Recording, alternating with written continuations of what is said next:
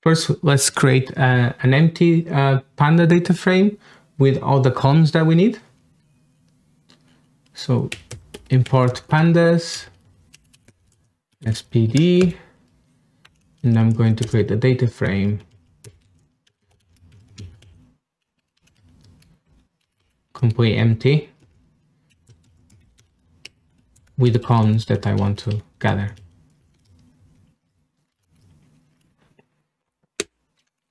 So it's a list of columns, location, which is uh, the club basically. I'm going to specify a date, a time, and let's call it availability for now. I might change this depending on how I want to use this data for querying.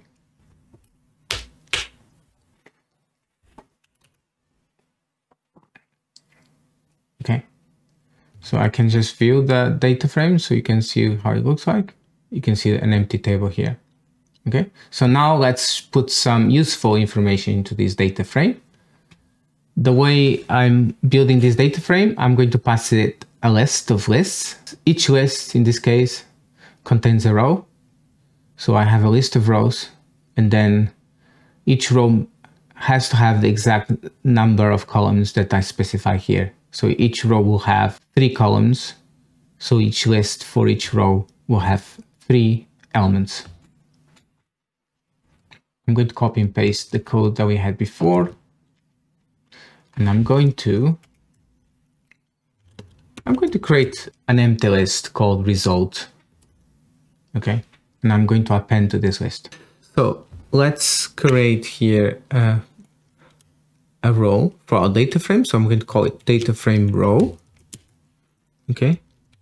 In fact, I'm going to do this in the last line. Okay. So one of the things that goes in first is the location. Oh, I don't have location actually. So I need to get the location, right? Then the date, and then I also need to save the availability so I have the availability in available. Okay, so location, current date, and available. So this is going to be my row. So I have three elements for now. No, actually I forgot one. Time. So four elements. So I have four columns and I'm going to have four elements. Okay, so let me see how to get this location. Let me see. Okay, location should be here, right? So I can get the location from this div here. Okay, I have an element here. I can use it for searching. So this div with a data test class equal to booking sports hall. Okay. So I'm going to use this. So I'm going to do location equal row dot find div and then I'm going to pass in a class. No not a class. In this case it's going to be data test ID and then the data test ID is going to have this. Now close the brackets. Let me just double check I got it right data test class actually. So I'm just going to call it that data test class. And I'm going to print location dot text just to make sure I got something that I need there. Okay, seems like I didn't get anything. It's empty. Data test class with an A. So I made a mistake here, one of the letters. Okay, so I can see the time, the location, and now the number of slots. For some reason, time is not defined in one of the elements. Yeah, it's time of day, not time. I need to also save my current date I'm going to save it here. So current date equal to date picker dot get attributes value. So it's saved now. going to run this again.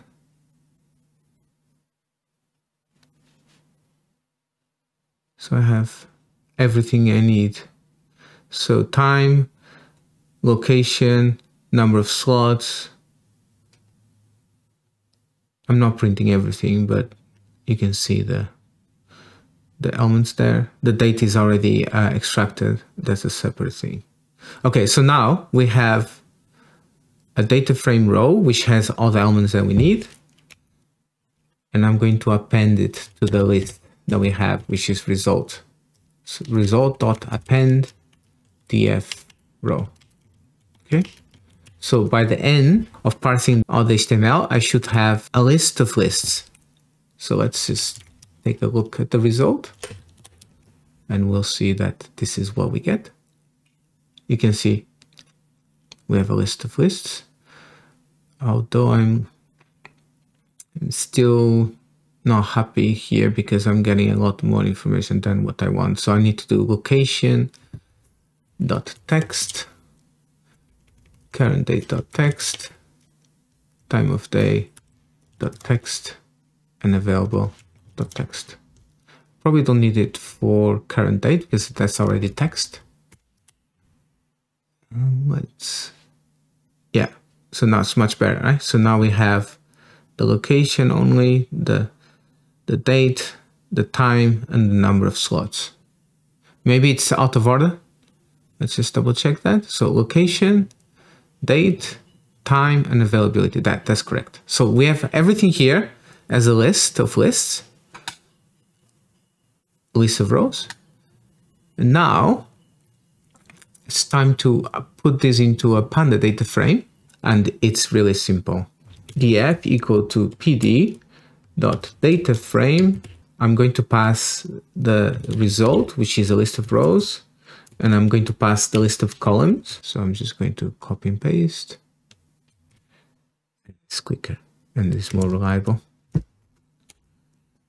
And I should get a data frame and I'm going to just display this data frame. This is only for one date, right? What I wanted to do now is to extract for the next five days all the availability for this location, okay? Later on, we're going to transform this into a method, yeah?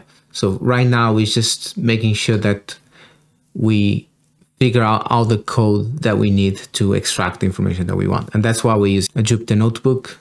Very handy. We can see the results straight away. And then at the end, we're going to create this nice fancy method, which will allow us to retrieve all the information we want with some parameters and we don't have to repeat any code.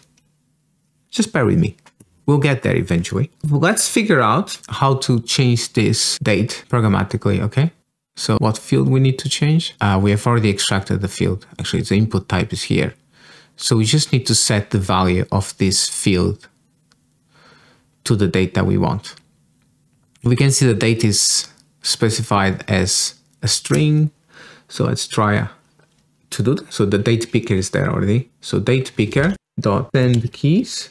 Send keys is basically the way you just input, uh, you send text to a, a field whatever field that is. And I'm going to pass in a string, okay? For now, I'm going to just hard code it because we want to make sure it works first, right? So I'm going to send 10th of April and see what happens. Oh, you see there's a problem here, right? It seems to duplicate rather than replace. So before I even try to type anything, I need to clear this field first by the code, of course, and then I need to send uh, what I need. So date picker dot clear. That should do it. And then I can pass in a string and specify the date I want. So let's try that instead. Okay, we can see 10th of April. Let's try again the 8th so there's nothing for Dave. We have already a way of setting the dates and we can extract the data we need based on the date, which is great. Okay, but what's not so great is that we have to hardcode this string. We can't just hardcode this date. We need to figure out the current date, then convert that date to this string using this format, and then we can pass it in. In uh, in Python, when we are dealing with dates, we normally use the the date time library. So I'm going to import it. And also I'm going to import the date object and let's just give you a go. So date dot today is going to give me today's date. Okay. But this is in a format, Python format. It's, uh, as you can see, I can't just pass in this string to the date picker. It's not going to understand what that is. But thankfully, there's a very easy way to do this. I can just do date dot today. Okay, the same thing I've just done. I can convert my date to a string using strf time.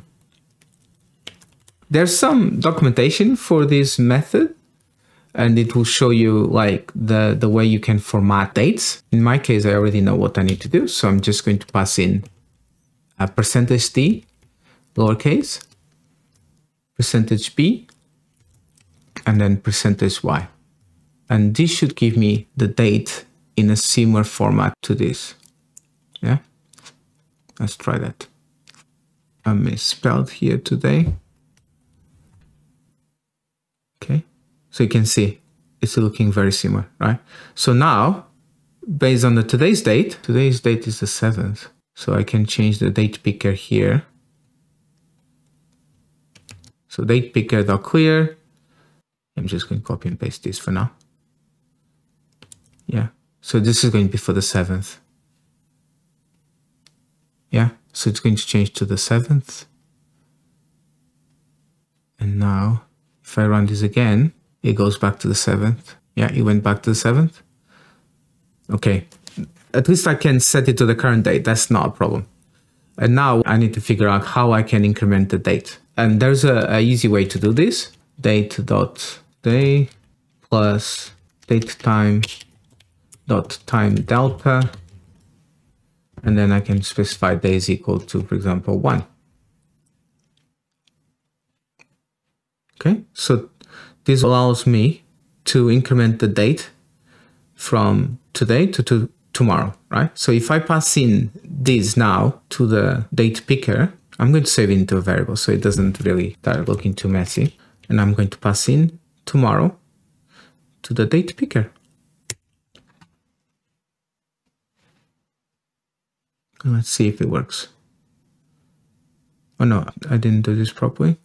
I need to format it.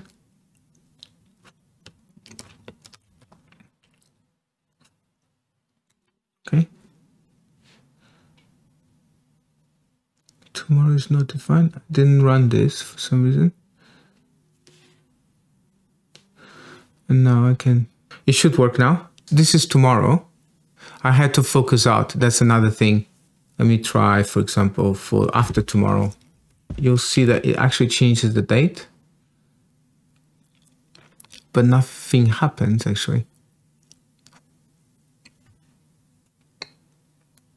No? Wait, I didn't. Oh wait, I'm still setting it to tomorrow. So if I do this now, it should set it to after tomorrow. Yeah, but I need to click outside the input field to be able to see the results. There's a way to do this. If I click here and I do tab, it goes to the next field. I'm going to do that with the Selenium to make sure that the date always changes the results whenever I change the date, I'm going to just simulate a key press of the tab, which normally does that. Date picker dot send keys, and I'm going to pass in keys dot tab, and I need to import keys from Selenium. In Selenium, there's a, a, library that gives me a list of all the keys that you can simulate uh, in the keyboard. So I'm going to copy this here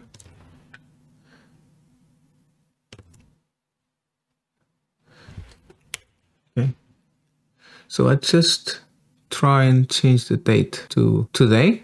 Okay. And now let's run this code. Okay, there's some error. And yeah, the issue is an extra letter I added. Okay, now it changed the date, yeah, to after tomorrow. So looking good. So now I have a way to change the date to any date I want. Uh, bear in mind, this only allows me to select five days in advance, up to five days or six days. Yeah, today is already gone, so it's going to give me five days in advance. Okay, I have all the code here that I need to use. And then I need to put this into a method and we're going to be able to call this method with the date or a number of days that we want to uh, check in the future, a location that we want to search on, and then it's going to give us a Panda data frame with all the different search results that it finds. It will find that information, of course, by scraping the web page. And that's what we'll be doing next. I'll see you in the next part of this uh, video.